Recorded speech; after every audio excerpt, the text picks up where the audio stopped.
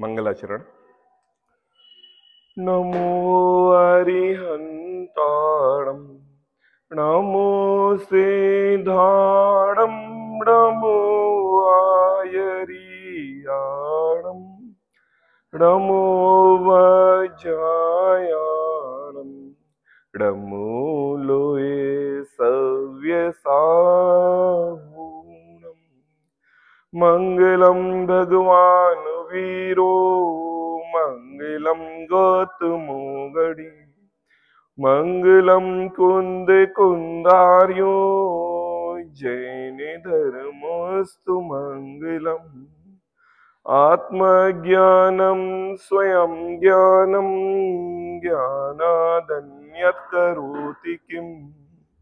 परभावस्य कर्तात्मा मोहोऽयं व्यवहारिणाम् अज्ञान्तिमिरान्धानां ज्ञानान्यशलाकया चक्षुरुन्मीलितं तस्मै श्रीगुरुवे नमः।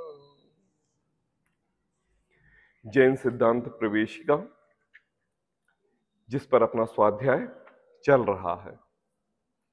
छोटे छोटे क्वेश्चन छोटे छोटे परिभाषिक शब्द जिनको हम समझने की कोशिश कर रहे हैं। आपने पहले भी इस लघु जैन सिद्धांत प्रवेशिका का स्वाध्याय किया होगा और कई प्रश्नोत्तरी वगैरह में इनके क्वेश्चन आंसर भी आते हैं जिनको हम लिखते हैं। फिलिंदा ब्लैंक्स में भी आते हैं या किसी पर्टिकुलर शब्द की परिभाषा भी पूछी जाती है। तो हम याद कर लेते हैं। और जब हम याद कर लेते हैं और वो जिनवाणी में वो शब्द आता है तो हमें उसका भावार्थ ख्याल में नहीं आता। क्यों नहीं आता? क्योंकि हम याद करते हैं। हम याद स्मरण में करते हैं, उसको धारणा ज्ञान में नहीं लेते। कैसा? जैसा एक बच्चा seventh eight nine tenth class में क्वेश्चन आंसर क्या करता है? रटता है। क्या करता है? रटता है। जब पेरेंट्स बोलते, भैया, समझ के पढ़ो। तो हमेशा याद रहेगा। समझ के पढ़ो, हमेशा याद रहेगा।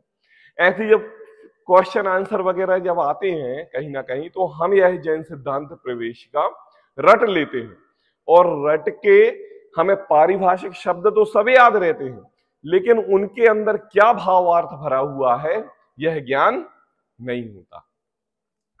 इसी का ज्ञान कराने के लिए हम क्लास नहीं ले रहे हम क्लास के साथ साथ आपको उसका अर्थ समझ में आना चाहिए। आपने देखा होगा, मैंने परिभाषा याद नहीं कराई।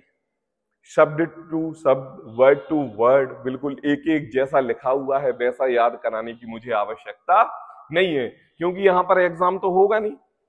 हम कर रहे हैं स्वाध्याय। तो स्वाध्याय ये शब्द हमारे शब्द कोश में, अंतरंग में, है ना, धारणा ज्ञान में आ जाना चाहिए। जब जब भी उन शब्दों को समझें, पढ़ें तो हमें स्मरण में आ जाए कि इसका ये भावार्थ है। इसका ये है। तो कल हमने दो पर्याय पढ़ी थी। कौन कौन सी?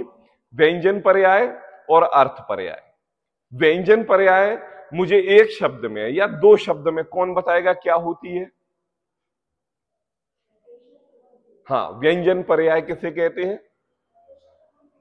हाँ प्रदेशत्व गुण के विकार को पारिभाषिक शब्द हो गया। मैं ये कहो परजीवी के, परद्रव्य के निमित्त से। उसके क्या कहते हैं?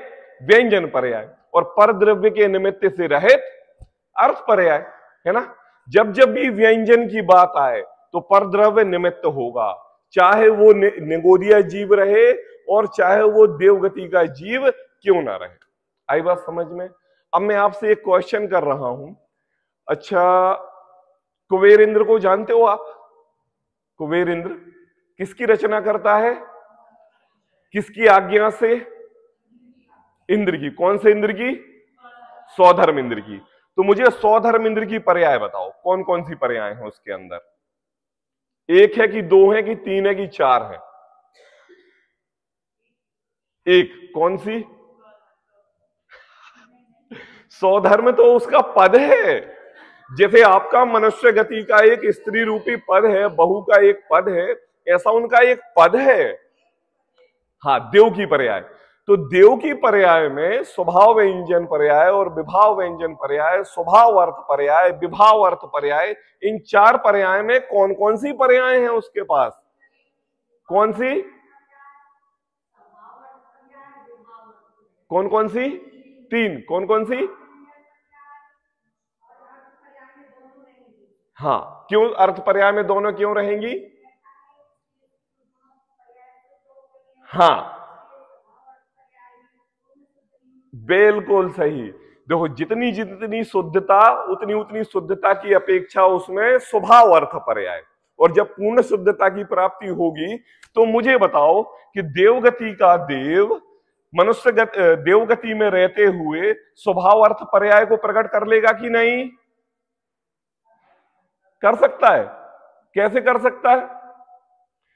अरिहंत बन जाएगा वो, देवगति में रहते हुए। देवगति में रहते हुए मोक्ष चला जाएगा। नहीं जाएगा तो क्या करना पड़ेगा? हाँ क्या करना पड़ेगा? मनुष्य जन्म लेना पड़ेगा बीतरागता धारण करनी पड़ेगी, भावलिंगी मुनिराज पढ़ना पड़ेगा, चौदहवे गुण स्थान पार करके जब वो जीव मोक्ष गति को एक अपेक्षा से अपन उसमें विभाव अर्थ पर्याय, स्वभाव विभाव अर्थ पर्याय ले सकते हैं। एक अपेक्षा से। आधा रागादि विभाव अर्थ पर्याय और आधा स्वभाव। मतलब जितने क्षणिक योग्यता उसके अंतरंग में अपने अं-, अंतर ध्यान की है वो ले लो स्वभाव अर्थ पर्याय। और जब वो राजपाट चला दी क्रिया में कुबेर को अनुमति देने में या तीर्थंकर के जीव को सुमेरु पर्वत ले जाने के में जो राग भाव उत्पन्न हो रहे हैं अंतरंग में तो बीतरागता ही झलक रही है ना? तो इन सब भावों से उसको कथनचित हम स्वभाव अर्थ पर्याय में ले सकते हैं। अब मुझे ये बताओ, ये वाला कल वाला सब्जेक्ट अपना तो पूरा हो गया, सबको समझ में आ गया, एक क्वेश्चन और करूँ मैं? अच्छा ये बताओ, नरक गति में अशुर कुमार जाति के देव रहते हैं, उनमें कौन कौन सी पर्याय रहती है? पर्टिकुलर सब चुप रहेंगे, अब मैं पूछूँगा एक जन से। आप बताइए। पीछे, आप बताइए। हाँ। हाँ। हाँ विभाव व्यंजन पर्याय और विभाव अर्थ पर्याय। क्यों? क्योंकि विभाव व्यंजन पर्याय शरीर के साथ है, दूसरी बात विभाव व्यंजन रागादि शक्ति है है ना? इसलिए दोनों रहे। स्वभाव की तो कोई बात है नहीं। आप तो क्या है पोस्टमार्टम करना सीख जाओ। कैसे? कोई भी चीज़ हमें ख्याल में आई ना, उसको पकड़ के उसका पोस्टमार्टम करो। कैसे? चलो, अब मैं आपसे ये पूछता हूँ। सीता जी का अभी कौन सा जीव है? कहाँ पर है सीता जी अभी? कहाँ पर है?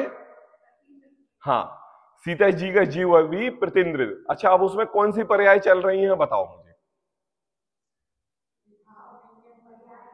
हाँ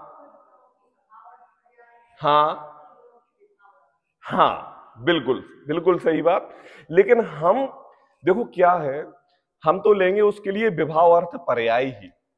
जब हम 100 परसेंट स्वापेक्षा से पर द्रव्य के निमित्त से रहित तो जो केवल ज्ञान सिद्ध रूप पर्याय प्रकट होगी, उसी के लिए हम निश्चय से स्वार्थ पर स्वभाव अर्थ पर्याय कहेंगे।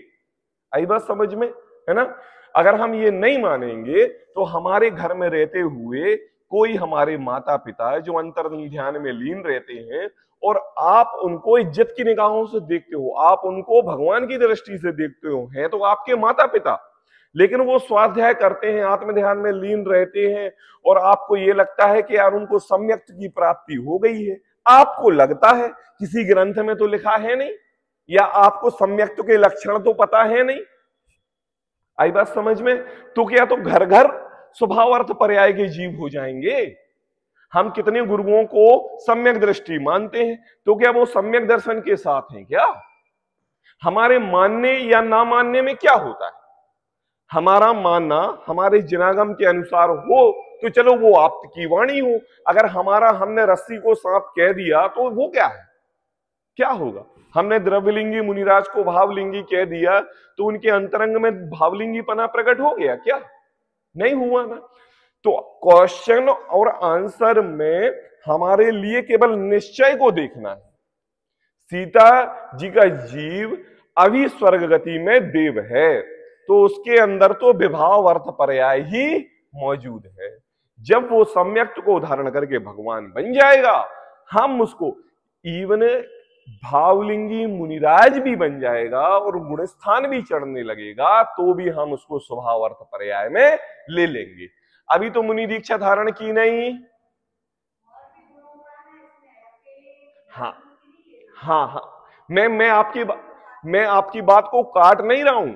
मैं आपकी बात को बिल्कुल भी निरर्थक नहीं ले रहा हूँ। मैं आपकी बात को उतना ही इधर वाजिब दे रहा हूँ जितना कि स्वभाव अर्थ पर्याय को और विभाव अर्थ पर्याय को किसी ने हमसे क्वेश्चन किया और देवगति का जीव है, ठीक है?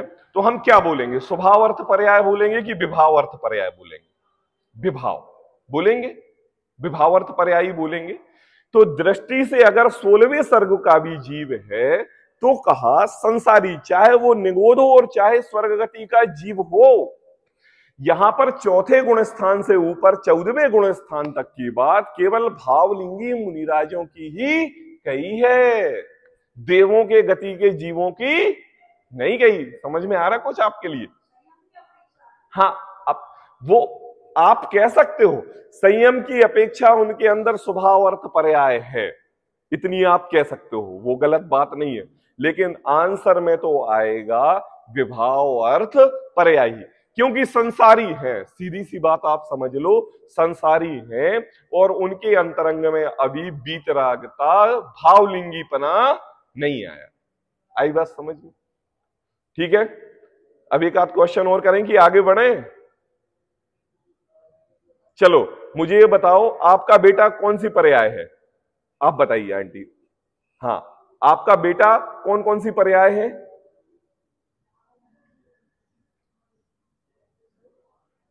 हाँ आप बाजू में बताइए। इसलिए कहते हैं, भैया एबसेंट नहीं हुआ करो, रोज आया करो। एबसेंट होते हैं ना तो एक विषय चला जाता है। ठीक है ना? हमें परिभाषा याद करनी नहीं है, हमें प्रैक्टिकल करना है। ठीक है ना? अब बताओ, कौन बताएगा? आपका बेटा कौन कौन सी पर्याय है? विभाव व्यंजन पर्याय और विभाव अर्थ पर्याय आई बात समझ में? अब चलो मुझे कौन बताएगा? आंटी, आप बताइए। काल, नहीं बताएँगे आप। चलो, गुड़िया, आप बताओ। काल द्रव्य में कौन कौन सी पर्याय है? हाँ। हाँ। कौन सी? एबसेंट थी। और कौन बताएगा? मैंने ये बताया था जीव और पुद्गल द्रव्य को छोड़ के बाकी चार द्रव्य में कौन कौन सी हैं? स्वभाव स्वभाव स्वभाव व्यंजन और स्वभाव अर्थ। ठीक है ना? क्योंकि वो स्वद्रव्य के निमित्त से हैं उनमें पर द्रव्य का कोई लक्षण नहीं। अब हाँ अब हमने इतनी तो बात आपके लिए पर, करा दी। अब प्रैक्टिस की जवाबदारी अब आपकी है। अब हमें यह विषय ऐसा हो जाना चाहिए कि कभी भी दस साल के बाद भी पूछा जाए, आप तो सिर्फ़ इतना लगाना, परद्रव्य क्या निमित्त है?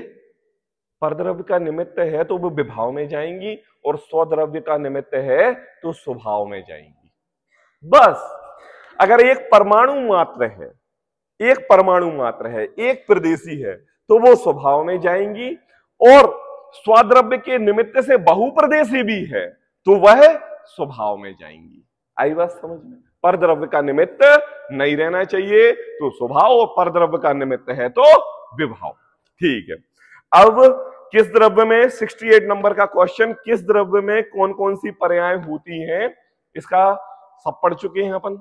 जीव और पुद्गल द्रव्य में अपेक्षा से चारों पाई जाती है। कौन कौन सी? स्वभाव व्यंजन पर्याय, विभाव व्यंजन पर्याय, स्वभाव अर्थ पर्याय और विभाव और चार द्रव्य में कौन सी पर्याय पाई जाती हैं? दो। स्वभाव अर्थ पर्याय और विभाव अर्थ पर्याय। स्वभाव व्यंजन पर्याय और स्वभाव अर्थ पर्याय। हाँ में हाँ नहीं मिलाना है। हाँ में हाँ नहीं मिलाना आप लोग भी गुरु हो, मेरे से ज़्यादा सीनियर हो। मैंने तो 20 साल का ही अध्ययन है। आप लोगों का तो इतने बुज़ुर्ग हो गए वो मुझे लग रहा है कि 85 से स्वाध्याय चल रहा होगा। 85 से लगभग नहीं चल रहा किसी का। किसका चल रहा है 85 से? आपका चल रहा? वेरी गुड देखो, अब 69 नंबर का क्वेश्चन देखो, अनुजीवी गुण किसे कहते हैं? सबसे पहले तो ये क्वेश्चन क्यों उठा? ये क्वेश्चन क्यों लिया गया? है इसकी अपन थोड़ी सी एक मिनट चर्चा कर लेते हैं। अनुजीवी गुण, क्या होता है? प्रत्येक द्रव्य का कोई ना कोई स्वभाव होता है। होता है कि नहीं? जैसे आपका स्वभाव ज्ञान दर्शन शक्ति से युक्त है। ये तो चलो ऐसा स्वभाव हो गया जो कि निगोद अवस्था से लेकर सिद्ध अवस्था तक कॉमन रहेगा। और एक स्वभाव ऐसा होता है, जो स्वभाव कभी आप छोड़ते नहीं हो।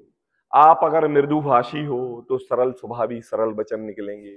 आप अगर कोमल हृदय के हो तो आपको अगर आपके पति देव कुछ गलत बात भी बोल दें तो आप दो मिनट में सरल स्वभाव होके शांत कर लोगे।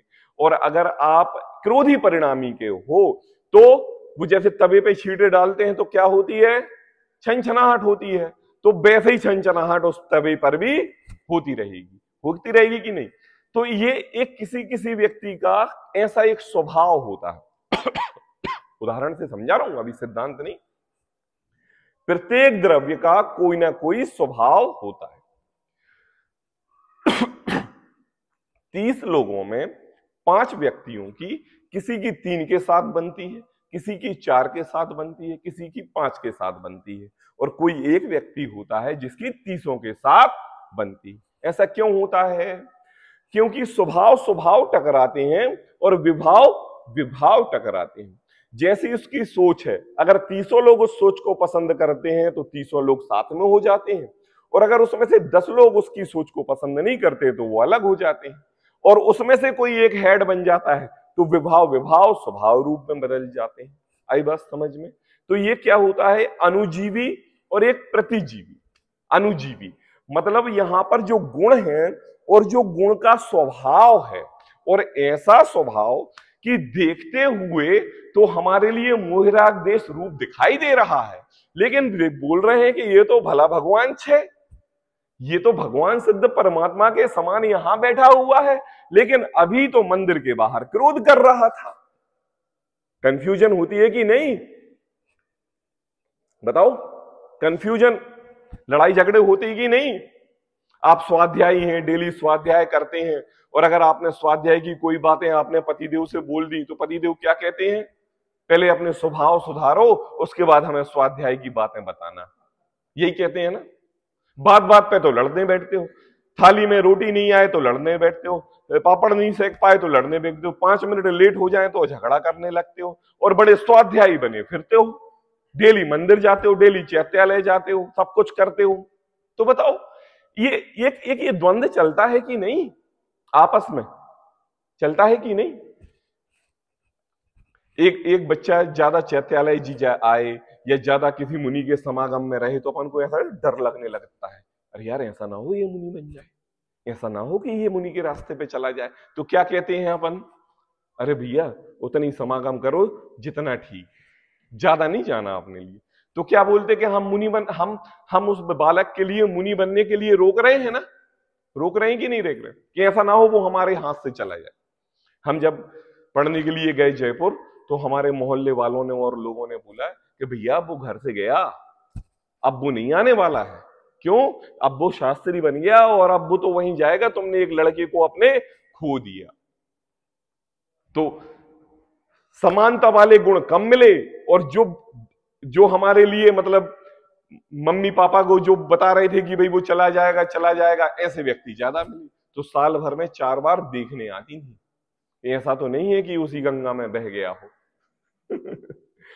क्या है अनुजीवी गुण और प्रतिजीवी गुण? जो गुण की समानता रूप है, ऐसा गुण जैसे शक्कर में मिठास है, उस मिठास को वो किसी भी पर्याय में हो कभी छोड़ता नहीं है। लेकिन कभी वह स्वभाव नीम की दवाई के अंदर कड़वी भी महसूस होती है।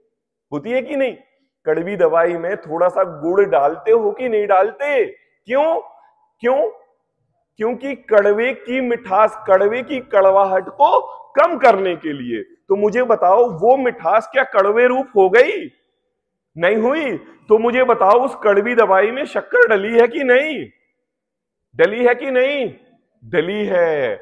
ऐसे ही इस पर्याय में कितने अनंत अनंत जीव हमें विभाव रूप से परिणमाते हुए दिखाई देते हैं। लेकिन हमारा जिनागम ये कहता है कि सभी भगवान हैं। प्रकट स्वरूप भगवान आत्मा चलते फिरते सिद्ध के समान है। तो यहाँ पर पहले पर्यायों की अपेक्षा वेद विज्ञान करके द्रव्य दृष्टि की ओर ले गए, स्वभाव की ओर ले गए कि देखो यह विभाव व्यंजन पर्याय में लिप्त भी जीव स्वभाव से भगवान आत्मा बन सकता है।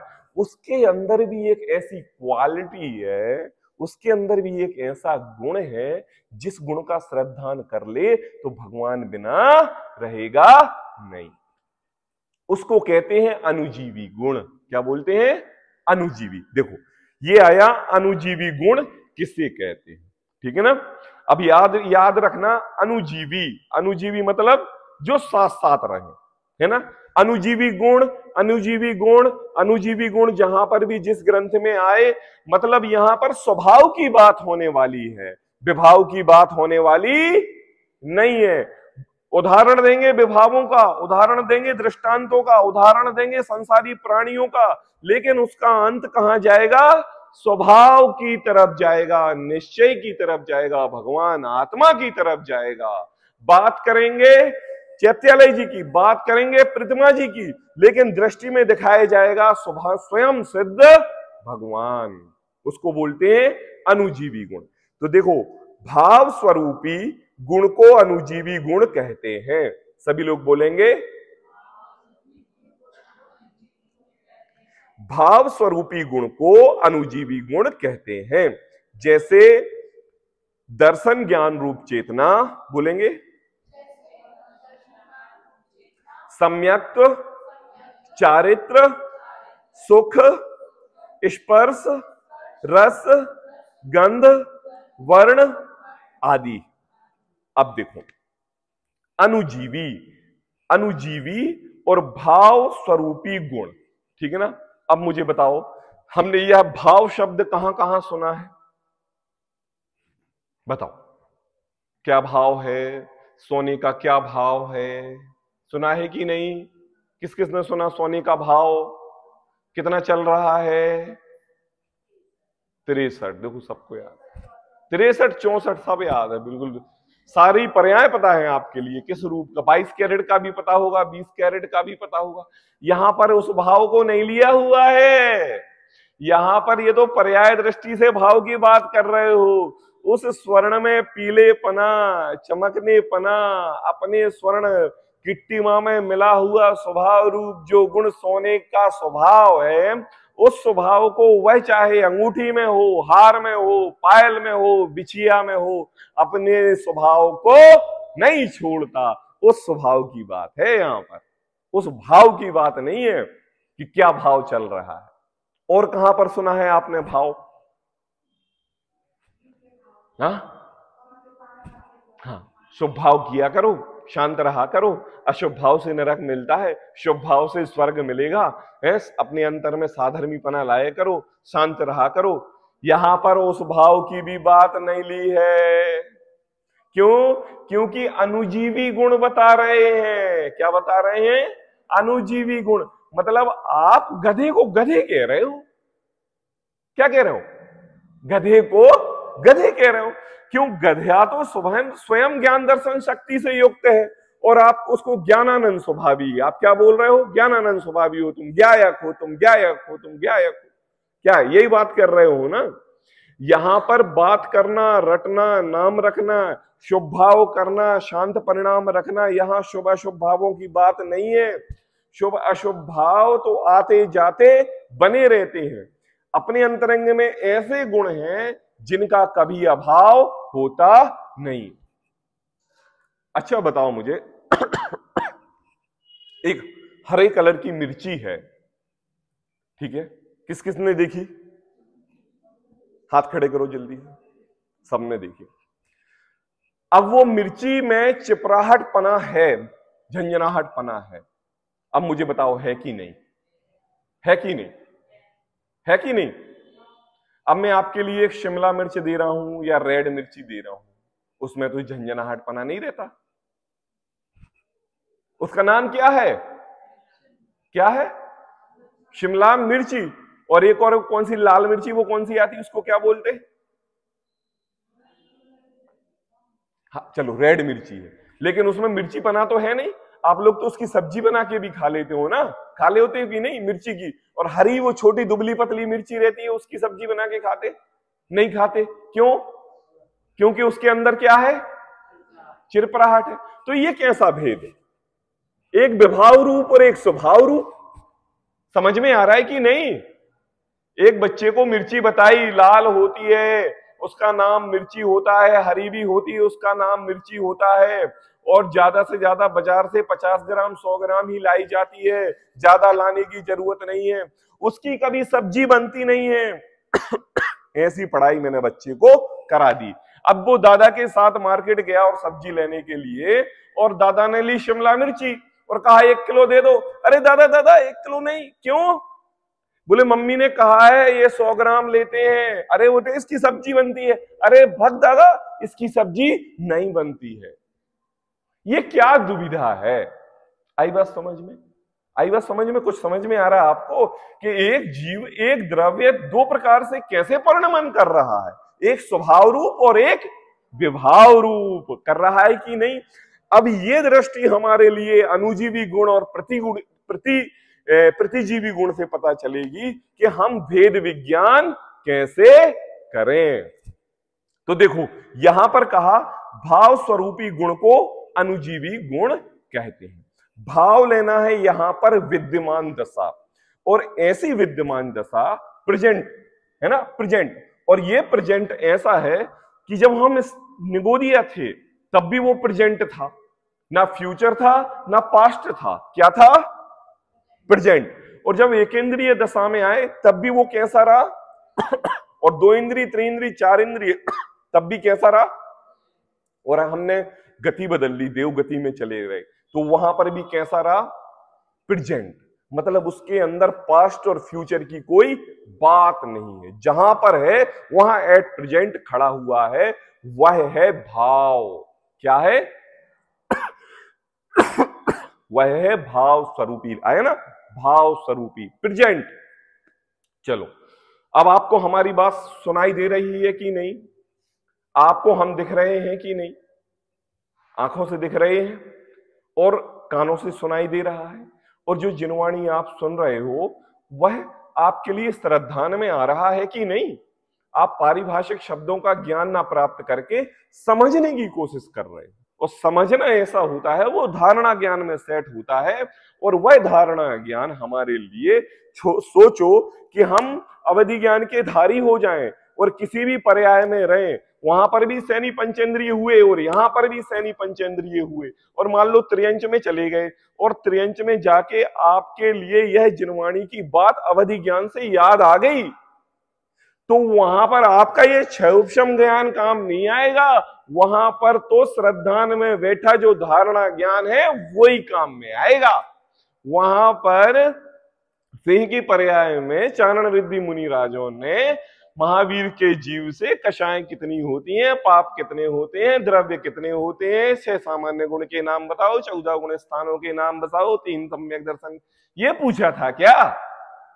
हा? ये पूछा था, आत्म स्वभाव की दृष्टि डाली थी तो वो श्रद्धान में आया, वो ज्ञान ज्ञान में आया। पारिभाषिक शब्द तो सब भूल जाते हैं। तो कहा, वह भाव स्वरूपी है ना? गुण अनुजीवी गुण है। जैसे ज्ञान दर्शन चेतना, दर्शन ज्ञान चेतना। यहाँ पर पूर्ण स्वरूप से प्रकट भगवान की ज्ञान दर्शन चेतना नहीं ले लेना। केवल ज्ञान रूप पर्याय, स्वभाव से सिद्ध पर्याय मत ले लेना। वो तो है। लेकिन अभी भी आपको मति शुद्ध ज्ञान है कि नहीं? है कि नहीं? आप जो ज्ञान कर रहे हो, उसका थोड़ा थोड़ा श्रद्धांत तो कर रहे हो कि नहीं? और जब उसका श्रद्धान करते हो तो आपके लिए रात्रि भोजन, छना हुआ पानी, अभक्ष भक्षण का त्याग आदि, ये सब चीज़ें स्वभाव से आ जाती हैं कि नहीं? आती हैं कि नहीं? तो ये सब किससे आया? बोले, ये ज्ञान से आया, दर्शन से आया और चारित्र से आया। आंशिक रूप से। किस रूप से? आंशिक रूप से। हम ग्रस्त हैं, ग्रस्त के अनुसार कार्य होते हैं तो ग्रस्त के अनुसार हमारी क्रियाएँ होती हैं। तो यहाँ पर आपका जो दर्शन ज्ञान चारित्र का जो गुण है, वह स्वभाव में है कि नहीं? तभी तो तभी तो पुण्य और पाप में अंतर पता चलता है। तभी तो हिंसा का पता चलता है, तभी तो अहिंसा का पता चलता है, तभी तो झूठ बोलना पाप है, ये बात पता चलती है। तभी तो सच्चे देवशास्त्र गुरु का हमारे लिए श्रद्धान होता है। होता है कि नहीं? तो आपके अंदर एक ऐसा गुण है जो गुण मिठास से भरा हुआ है, और वह गुण मिठास से भरा हुआ होने के कारण आपकी इस पर्याय को थोड़ा सा हमने कड़वी दवाई में मिला दिया है। अब उस कड़वी दवाई में कभी वो कड़वी सी महसूस लगती है, और कभी मीठी सी महसूस लगती है। कभी हम अपने अंतरंग में बैठे ज्ञान दर्शन स्वभाव को देखकर भगवान जैसी अनुभूति करते हैं और कभी हम पति बच्चों के साथ रहते हुए ग्रस्त में एक श्रावक की अनुभूति करते हैं। करते हो कि नहीं? अरे भाई बोलो तो वो हमारा कौन सा गुण है? ज्ञान, दर्शन, चारित्र गुण है। सम्यक दर्शन नहीं, सम्यक ज्ञान नहीं, सम्यक चारित्र नहीं, है ना? अब उसके बाद कहा, सम्यक चारित्र और सुख। यहाँ पर जो सम्यक्त की बात कही है, यह श्रद्धा गुण की कही। किसकी गुण की? श्रद्धा गुण की गई। जैसे सागर में कितने चैत्यालय जी हैं? एक ही है। बड़े बाज़ार में कितने हैं? एक ही है। कहाँ पर है? इतवारी टोरी पर। मुझे बताओ, इतवारी टोरी पर कितने मंदिर हैं? ज़ोर से बोलेंगे सभी? चैत्यालय एक है। दिगंबर जैन मंदिर कितने हैं? नहीं है। चलो बड़े बाज़ार एरिया में बता दो। पचास होंगे। लगभग पचास होंगे। लगभग चालीस होंगे। दस होंगे। चलो ठीक है, दस होंगे। अब मुझे बताओ, इस बड़े बाज़ार एरिया में चैत्यालय एक, दिगंबर जैन मंदिर दस, और हिंदू मंदिर कितने हैं? कितने सारे? कितने सारे? पचास? अरे मुझे पचास तो मुझे पचास तो इसी गली में दिखते हैं। मेरे हिसाब से तो 500 से तो ऊपर होंगे लगभग। इतने तो होंगे, क्योंकि मैं तो जहाँ नज़र देखता हूँ ना, ऐसे तो मंदिर दिखता है, ऐसे, मंदिर दिखता है। धोखे से गाड़ी का ब्रेक लगता है, सामने देखता हूँ तो मंदिर दिखता है। पीछे मुड़ के देखता हूँ तो मंदिर दिखता है। मुझे तो यही नहीं समझ में आता कि यहाँ घर है कि मंदिर ही मंदिर है। आ? हाँ? तो मुझे ये बताओ कि जब आप 500 मंदिरों में आप श्रद्धा गुण से एक चैत्यालय रूपी जैन मंदिर को खोज लेते हो, और वहाँ पर आप श्रद्धा गुण के कारण अपने सच्चे देवशास्त्र गुरु का यथार्थ निरूपण कर लेते हो तो मुझे बताओ आपके अंदर ज्ञान दर्शन की शक्ति है कि नहीं? अगर ज्ञान दर्शन की शक्ति नहीं हो तो मंदिरों की कमी नहीं है। सभी मंदिर एक समान हो और सभी जगह सच्चे देवशास्त्र गुरु विद्यमान हो तो मंदिरों की कमी नहीं है। लेकिन आपका श्रद्धान चैत्यालय जी पर यहाँ पर वेदी के सामने नतमस्तक होके ही होता है। ये कौन सा गुण है? ये सम्यक्त गुण है। श्रद्धा गुण की पर्याय है। किसकी पर्याय है? श्रद्धा गुण की पर्याय। मुझे बताओ, आप 50 से 60 वर्ष के हो गए हो, और अगर आपसे कोई कहे कि रात्रि में दवाइयाँ ले लो हम नहीं लेंगे। आप ये कहो कि दवाई के साथ कुछ अन्य का आहार ले लो, खाली पेट नहीं खाना है, हम नहीं लेंगे। मर जाएँगे पंडित जी, लेकिन रात्रि भोजन नहीं करेंगे। क्यों नहीं आया? क्यों आया? ये श्रद्धान में कैसे आया? क्योंकि हमारे पास एक गुण है। कौन सा? सम्यक्त का, जिसमें श्रद्धा गुण की पर्याय से हमारे लिए अभक्ष भक्षण अरुचिकर लगता है। आई बात समझ में? होता है कि नहीं? है ना? प्राण जाए पर वचन ना जाए। चारित्र सुख सुख है कि नहीं? जब आप थोड़ी सी सुखानुभूति करते हो तो आपको लगता है कि हम खुश हुए। एक बच्चा टीवी पर कार्टून देखता है। बहुत हंसता है ज़ोर ज़ोर से, बहुत हंसता है बहुत अच्छा है। वो पाँच साल का है। उसी के साथ में बैठी हुई एक दस साल की लड़की, वो थोड़ा कम हंसती है। और उसी के साथ बैठी हुई एक पंद्रह साल का बच्चा, जो कि टेंथ क्लास में है, बाबूजी, वो कम हंसता है। और वहाँ पर बैठे हुए तीनों के पापा, वो बड़े क्रोधी होते हैं कि दिन भर ये लगा लेते हूँ। और वहीं पर बैठे हुए दादा, दिन भर दिन भर यही देखते क्या लगता है, क्या मज़ा अब बताओ, दृष्टि तो दिखाई देने वाला तो एक है टीवी तो एक है यहाँ पर कितनी पर्याय बदल रही हैं? अलग अलग पर्याय बदल रही हैं।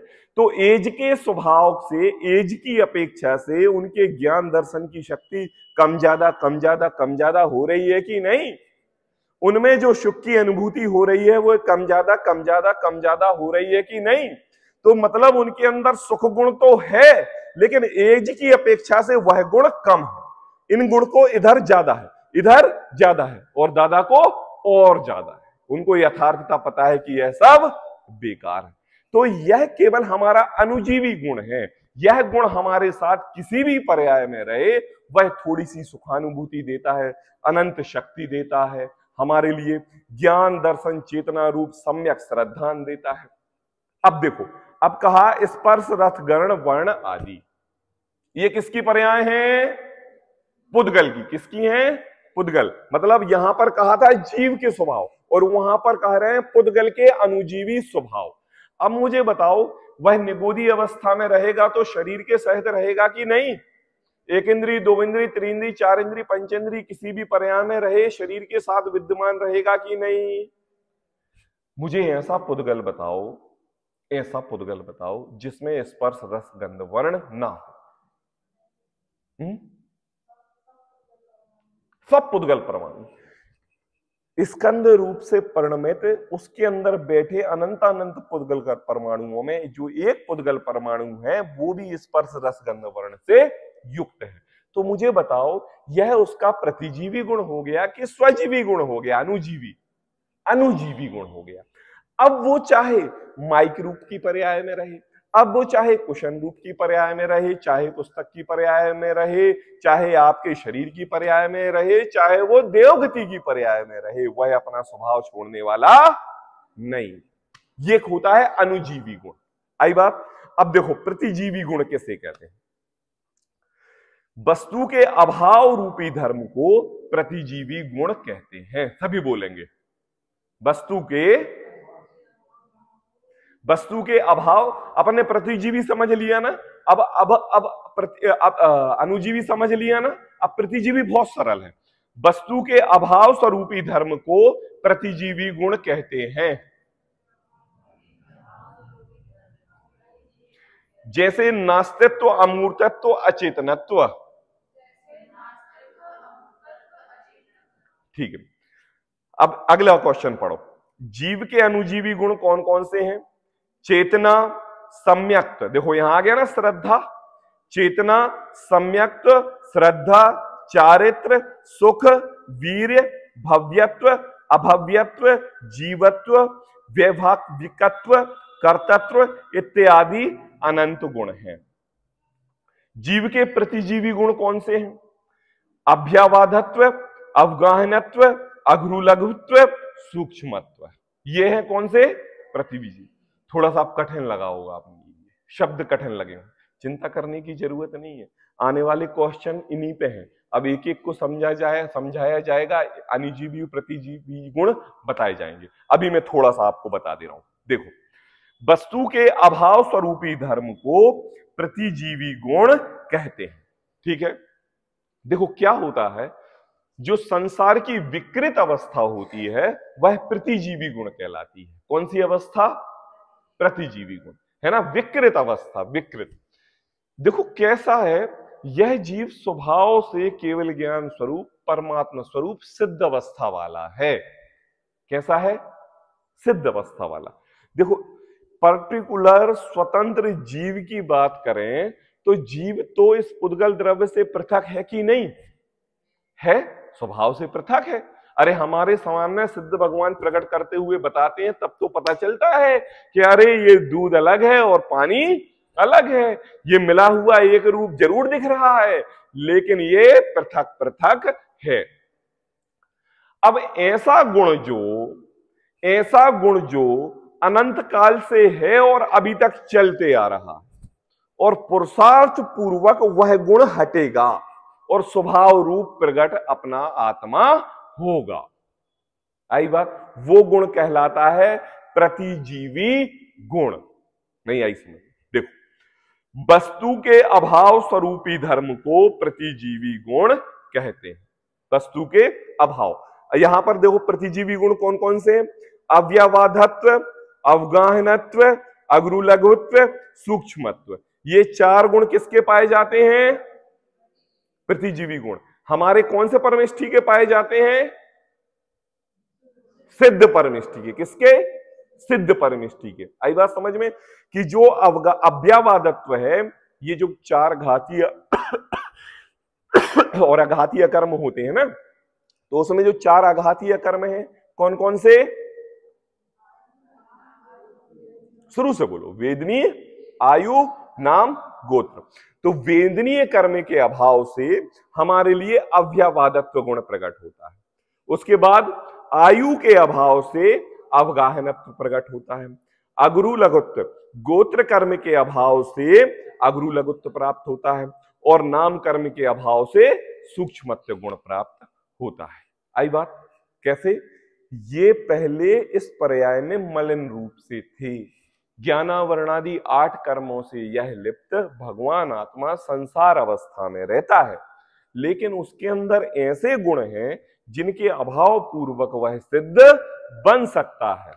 तो जिनका अभाव होना है और जो प्रकट होना है और जो अभी वर्तमान में दिखाई नहीं दे रहे, लेकिन हम बैठे हैं प्रेजेंट में और दिखाई क्या दे रहे हैं प्रकट किनको करना है? अनुजीवी गुण को किनको? प्रतिजीवी गुण को किनको? प्रतिजीवी गुण को। तो बात यह कि दिखता हुआ मलिन पदार्थ स्वभाव से सिद्ध परमात्मा रूप दिखाई देना। कैसे? जैसे कल मैंने बताया था कि दूध में कितने ग्राम घी है? सौ ग्राम घी। कितना? एक लीटर दूध में कितने ग्राम घी है? सौ ग्राम। अभी तो मलिन में है। अभी तो मलिन मलिन रूप दशा में है। लेकिन उसके अंदर उसका प्रतिजीवी गुण सौ ग्राम घी विद्यमान है कि नहीं? हमारे अरहंत परमेष्ठी चार आघातीय कर्मों का अभी क्षय नहीं हुआ है तो उनके अंतरंग में अभ्यावादत्व अवगाहनत्व, अग्रुलघुत्व, सूक्ष्मत्व गुण है कि नहीं? अभी कुछ समय के बाद चार आघातीय कर्मों का क्षय होगा और स्वभाव से सिद्ध परमात्मा बन जाएँगे। यहाँ पर जो तीन उदाहरण दिए हैं नास्तित्व, अमूर्तत्व, अचेतनत्व। इसकी चर्चा अपन कल करेंगे। लेकिन चे, वस्तु के अभाव स्वरूपी धर्म को प्रतिजीवी गुण ये के कहते हैं, इसका ये होता है मतलब हम स्वभाव से कितने भी क्रोधादि परिणाम, राग देश आदि परिणामों से सहित क्यों ना हो, लेकिन स्वभाव से भगवान आत्मा तो है। तो वो जो गुण भगवान आत्मा का है, वह हमारे इस अस्तित्व में है कि नहीं? वो गुण की बात हो रही है यहाँ पे। आई बात समझ में? और दिखाई कौन सा गुण दे रहा है? राग द्वेषादि रूप, विभाव रूप, कषाय से परिणमित रूप, गृहस्थ अवस्था का जीव, व्यापार आदि में लगा हुआ जीव दिखाई दे रहा है कि नहीं? आई बात समझ में?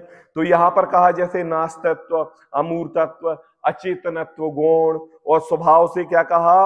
अव्यवादत्व, अवगाहनत्व अग्रु लघुत्व और सूक्ष्म। तो कहा, वस्तु के अभाव स्वरूपी धर्म को और वस्तु के स्वभाव स्वरूपी धर्म को। एक बार पर एक मिनट का समय। अरहंत परमेष्टि के चार घातीय कर्मों का क्षय नहीं हुआ है। तो उनकी ज्ञान, दर्शन, शक्ति विराजमान है कि नहीं? है कि नहीं? ये हो गया उनका अनुजीवी गुण। प्रेजेंट है, उपस्थित है, सब कुछ है, ज्ञान, दर्शन, शक्ति से युक्त है।